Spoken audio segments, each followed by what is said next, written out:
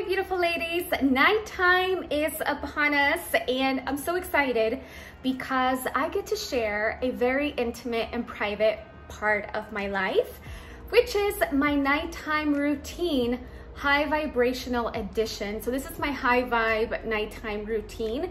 And the reason for that is because I've incorporated a lot of very personal spiritual aspects that really keep me centered, grounded, and with this constant sense of inner peace regardless of whatever is happening in the outside world. And I've also been practicing a lot more spiritual discipline and being more committed to making time for spirit. And so this is why my meditation and my prayers and yoga and everything that I do, everything is rooted in really coming back home to myself and stilling my mind through meditation is a really big part of my life because through meditation is where we make that connection. You know, when we silence our mind, we're able to make that connection.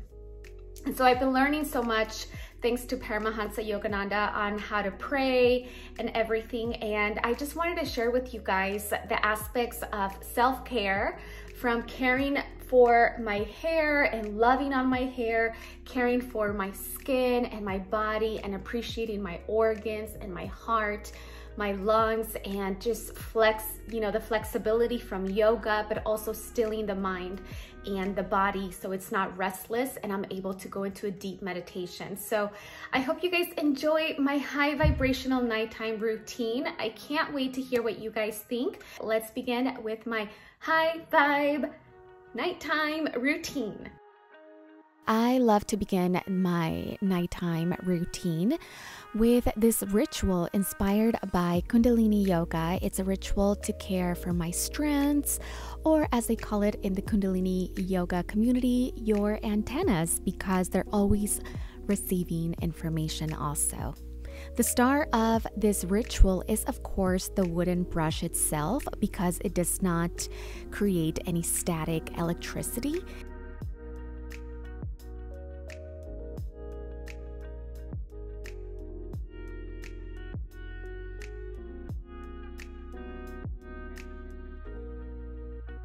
And remember, this natural healing process of your hair can be supported through this very simple act of care.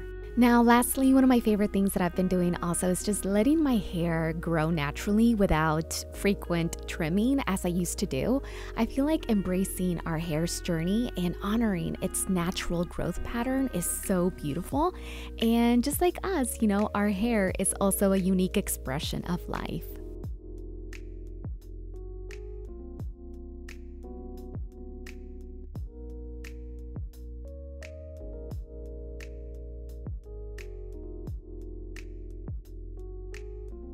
Now, to maintain energetic balance and to support your magnetic field, this is something that I learned in Kundalini Yoga, is just to consider braiding your hair before sleeping.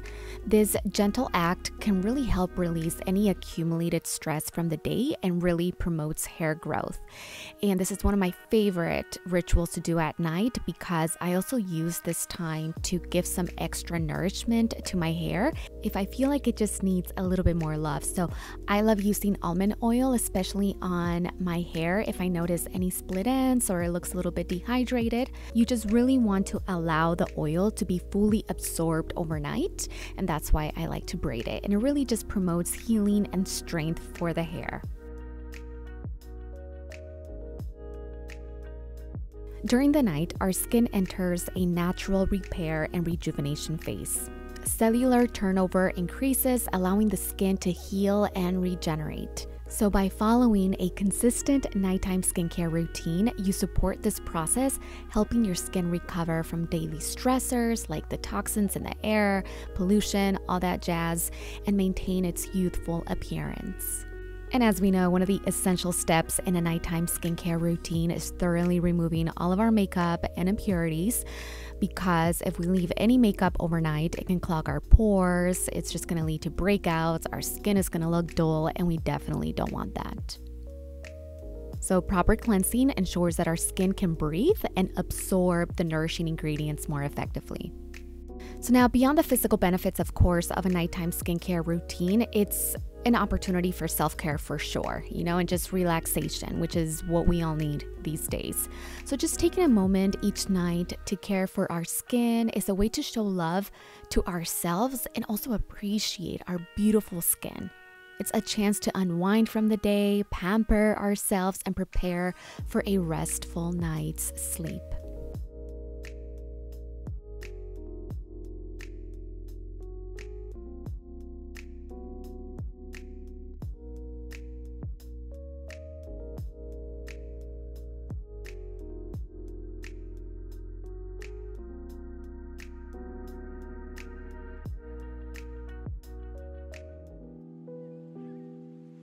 Pretty often before bedtime, I love to practice yoga, especially now that I'm learning so much more about it. So, after just a long and hectic day, our minds can often be filled with clutter and racing thoughts. So, as we flow through the poses, we're releasing tension and mental chatter, creating space for a calm and clear mind. The sacred time on the mat really allows us to turn our attention inwards, letting go of distractions and becoming attuned to our inner self. And this inner stillness sets the stage for a profound meditation experience. And that is the point of yoga, uniting the mind and the body and the soul.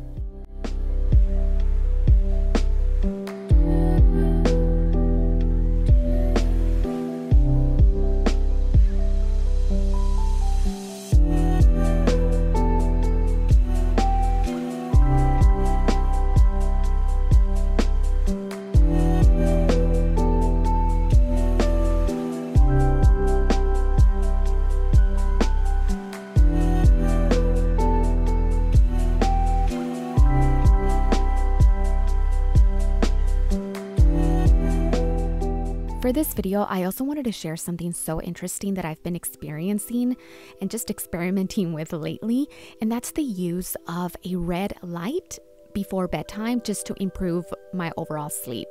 So, I've done some research and it turns out that red light has some fantastic benefits for our sleep and our overall well being. So, our bodies have this internal clock called the circadian rhythm, which responds to light and darkness. Using a red light at night helps sync our circadian rhythm, making it easier to fall asleep and wake up at the right times. It's like a gentle signal to our body that it's time to wind down and get ready for a good night's sleep. I also want to share something that has brought immense meaning and fulfillment to my life, and that's the importance of having spiritual discipline and taking time each day and night to read spiritual books reading these books is like nourishment for my soul. It's not merely about acquiring knowledge, it's about connecting and understanding the deeper truths that reside within me.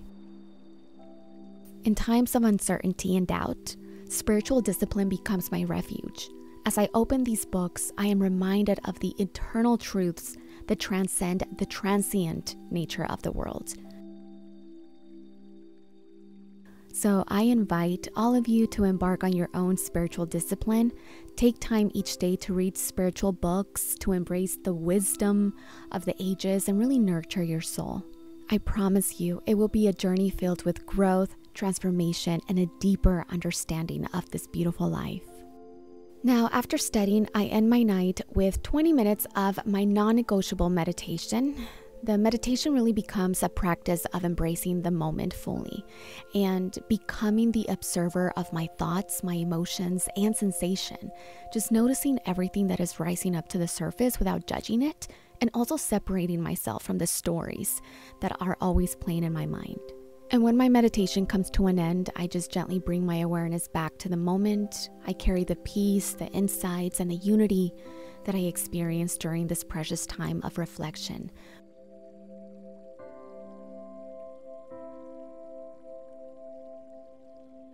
Thank you for joining me on this intimate journey of spiritual discipline, meditation, self care, and all of that jazz.